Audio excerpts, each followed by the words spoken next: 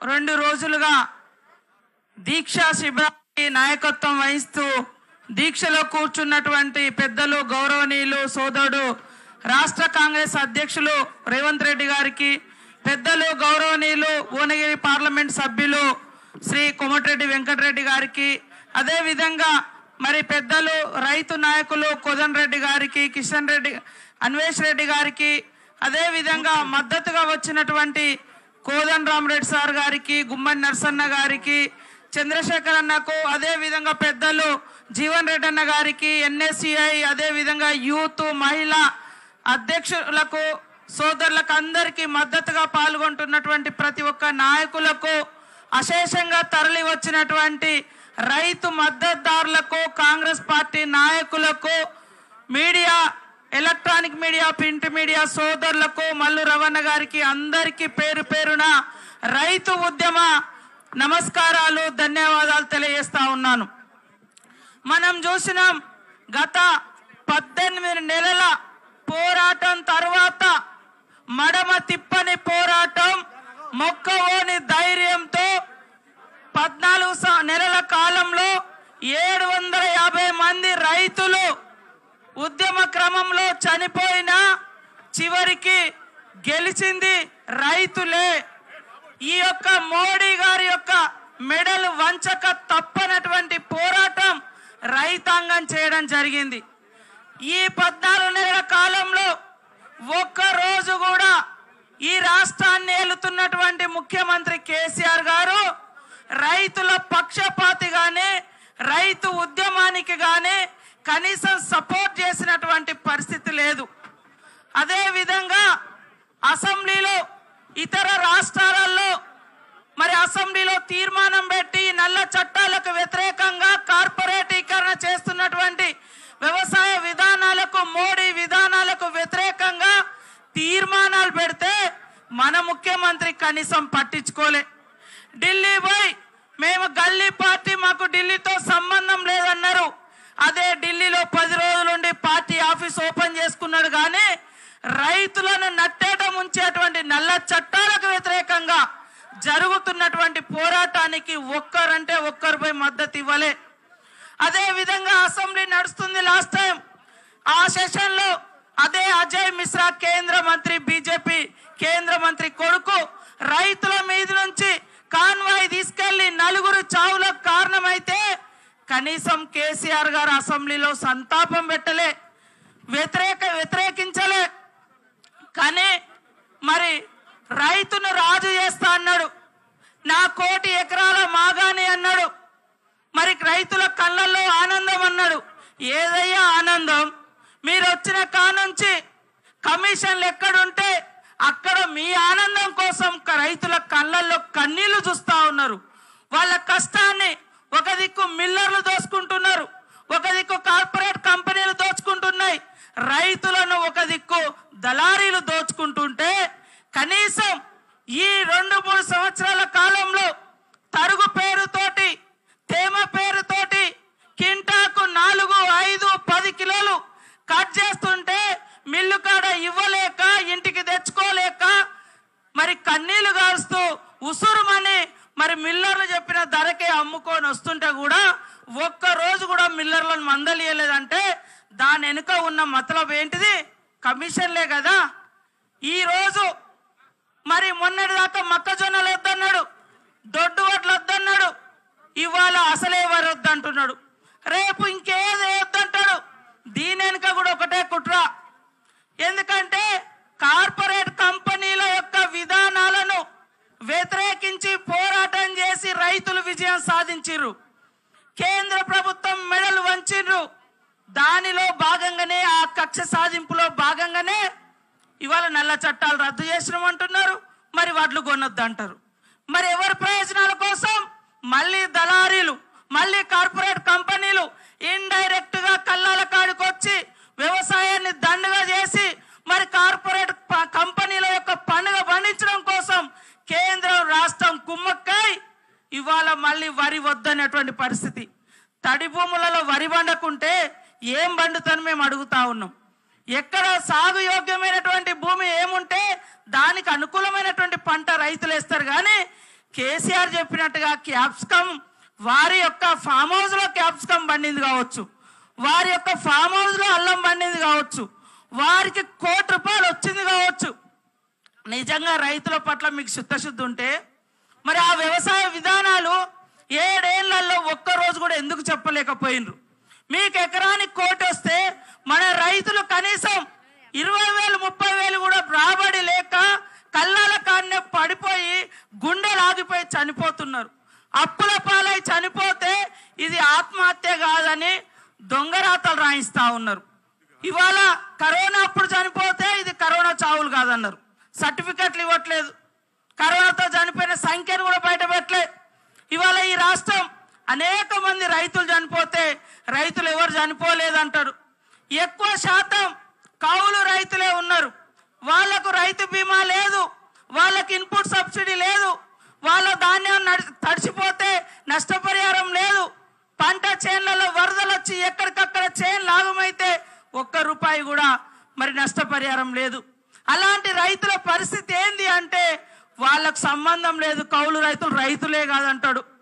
ఈ రకంగా దేశానికి అన్నం పెట్టే రైతన్నను ఇవాళ రోడ్ల మీదకి తీసుకొచ్చి అరిగోస పెట్టినటువంటి ఎవరు కూడా బాగుపడరు.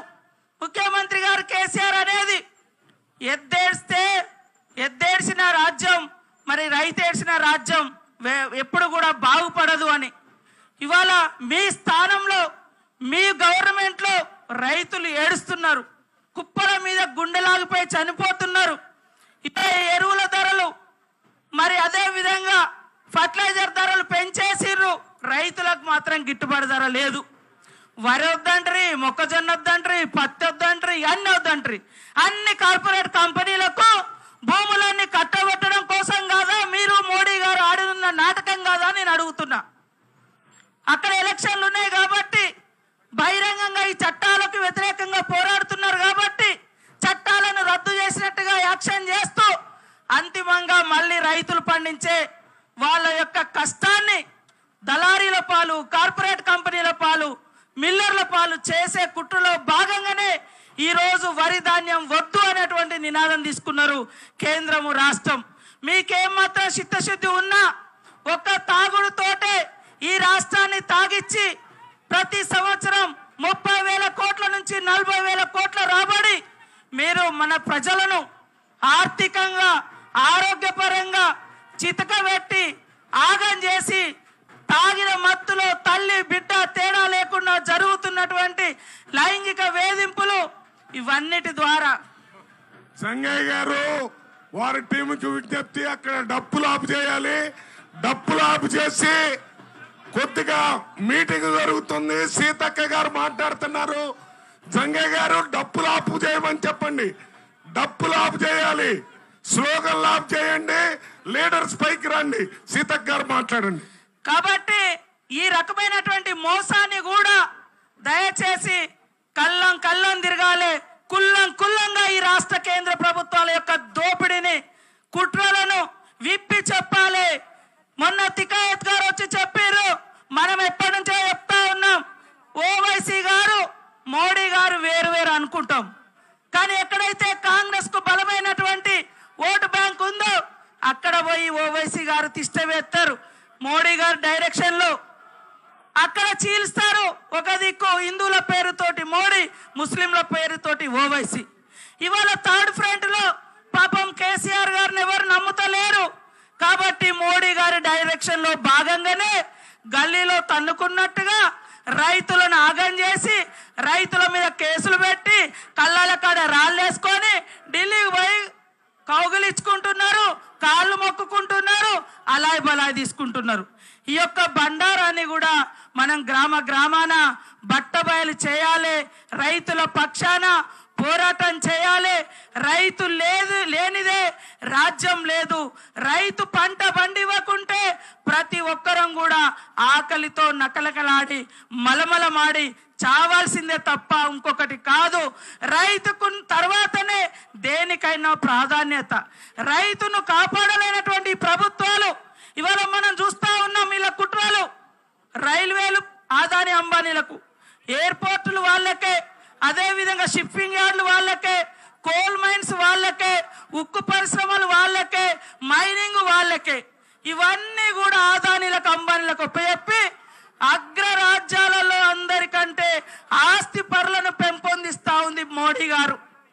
ఇవాళ ఆస్తులన్నీ వాళ్ళకు తాకట్టు పెట్టినట్టే ప్రభుత్వ రంగ ఆస్తులన్నీ ప్రజల వ్యవసాయాన్ని రైతు వ్యవసాయాన్ని రైతు భూములను కూడా కార్పొరేట్ కంపెనీలకు డైరెక్ట్గా ఉపయుక్తమని చట్టం తెచ్చిర్రు. ఆటలు సాగడం లేదు. ఇండైరెక్ట్గా రైతాంగం యొక్క పంటలు కొనకుండా రైతాంగం మీద ఎరువులు పెట్రోల్ ఇవన్నీ ధరలు పెంచేసి ఇవాళ వ్యవసాయం అంటే విరక్తి కలిగే రకంగా కుట్ర చేస్తా ఉన్నారు కార్పొరేట్ కంపెనీలకు అనుకూలంగా. ఇవాళ మరి ఇలాంటి కుట్రలను కూడా ఎండగట్టుకుంటూ అందరం ఐక్యంగా పోరాటం చేయాల్సినటువంటి అవసరం ఉంది. రాహుల్ గాంధీ గారు చెప్పారు ఎప్పటికైనా ఎంత దుర్మార్గుడు కానీ ఎంత నియంత కానీ రైతులంతా ఏకమైతే ప్రజలంతా ఏకమైతే ఇలాంటి చట్టాలను తప్పకుండా వెనక్కి తీసుకోక తప్పదు అని కానీ ఆయన చెప్పినట్టే జరిగింది.